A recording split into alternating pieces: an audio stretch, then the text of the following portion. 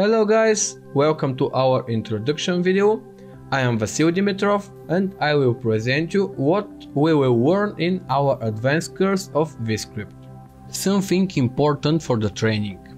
To get the most out of this course you need to have some basic skills.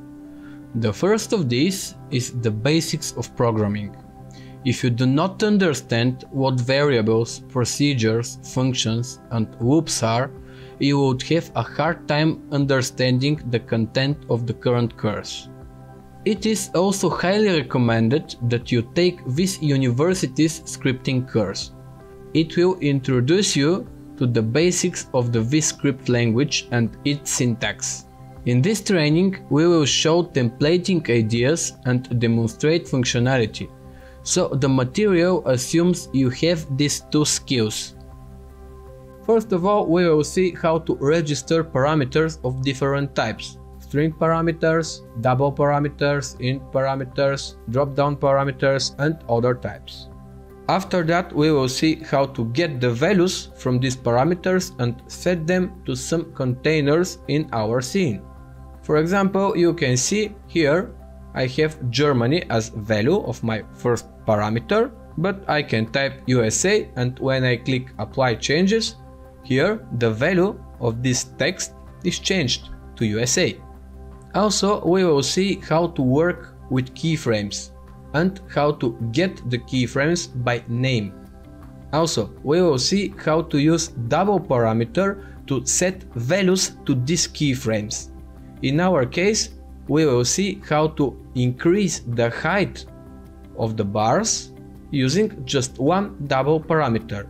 And that's not all. You can see when I change the value of bar height, this value above the bar is changed too. So there is no need to set the same value to two different places.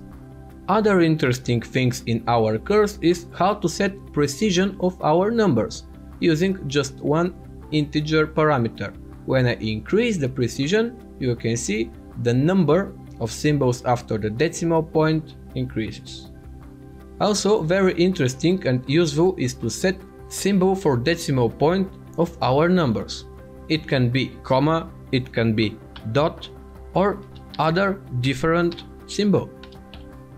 Also, we will see how to set the same value to many different containers. In our example, this is scaling.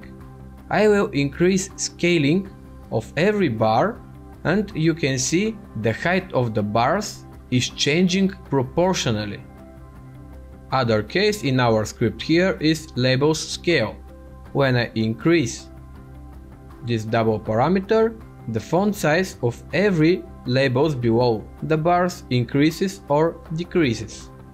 And that's not all we will see how to implement option for choosing how many bars to show in our scene. When I click to 3 bars, you can see here the last two bars are hidden and in my script I see only the first three where I can set text values for these labels below the bars. Also we will see how to use color parameters. In this script, we can register color parameter and set this color somewhere in our scene. Or other cases in our course is setting color depending of string parameter. For example, now the color of bar is red, but if I write instead of USA Sweden and click apply changes, you can see, yes, the text in the label below the bar is changed to Sweden, but the color of the bar is changed too. We will see how to create logic which will do this.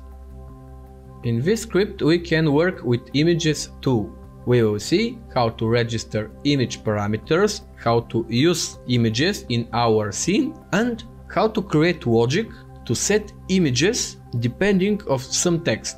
For example, you can see the country flag above my first bar is Ukrainian flag, because in the first field the text is Ukraine, but when I set Germany, for example, in the first field and click apply changes, you can see the country flag is changed automatically depending of my text which I typed here in this field.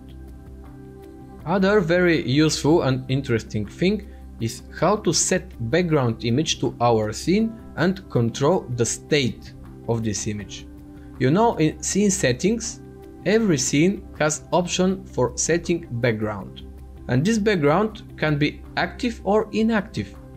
We will see how to get some image and set this image as background of our scene. How to deactivate this background or how to activate it. Also, we will learn how to set or delete stop keyframes. You know in every scene you can set some stop or delete this stop keyframe. We will see how to do that using Viz Script.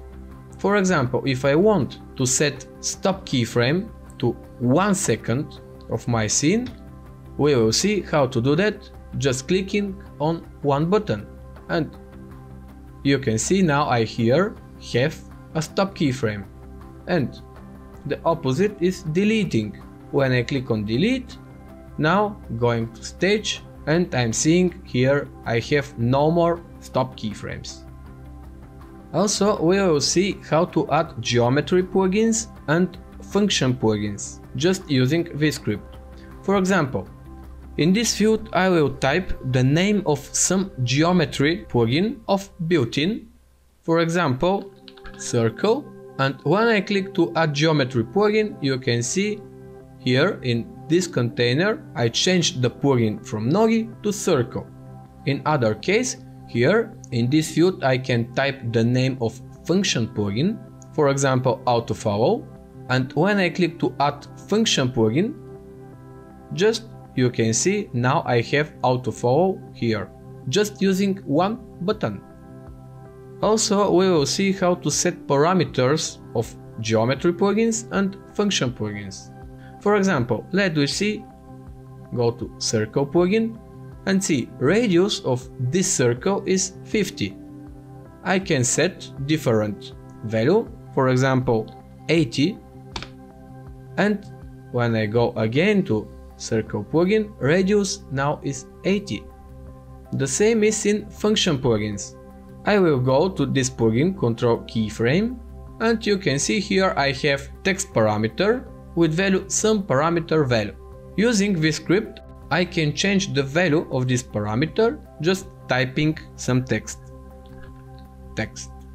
And now if I go to control keyframe plugin, here the parameter is with different value. And also we will see how to add alpha to our container and how to set the value of this alpha. Of course, we will see and many others very interesting and useful things.